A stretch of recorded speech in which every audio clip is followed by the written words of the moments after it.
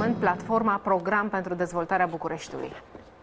rafistolați să propuneți o serie întreagă de lucruri. Astăzi, după, în următoarele ore, am promisiunea că îl așezăm și pe site integral, în așa fel încât să nu... O să încerc astăzi să sparg tradiția ultimilor 20 de ani în care primarul în exercițiu venea de obicei în fața bucureștenilor pentru a explica de ce nu a reușit să facă ce și-a propus. Eu vin în fața oamenilor pentru a spune ceea ce am făcut, ce mi-am propus și mai ales pentru a explica ce voi face mai departe. Înaintea unui nou moment electoral, mesajul meu pentru bucureșteni este acela de a avea încredere pentru că se poate. În ultimii patru ani am reușit să demonstrăm acest lucru.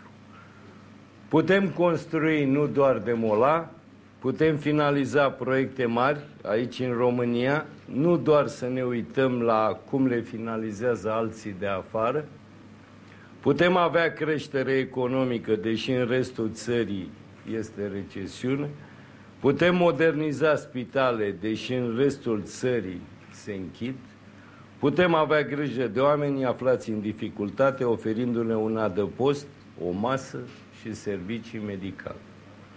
București începe să se modernizeze, orașul nostru începe să facă pași importanți spre marile capitale europene.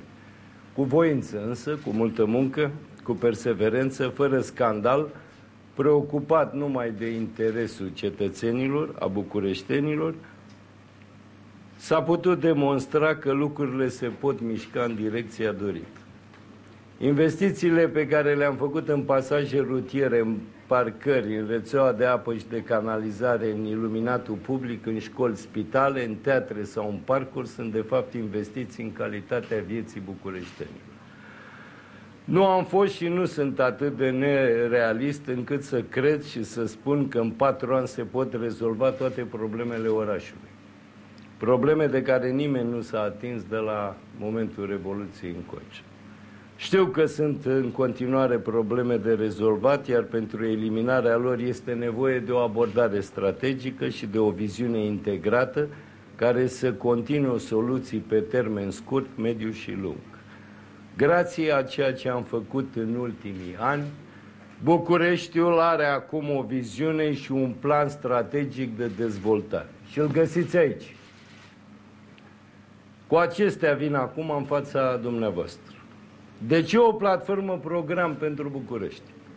Pentru că acest oraș are nevoie de o administrare modernă, profesională.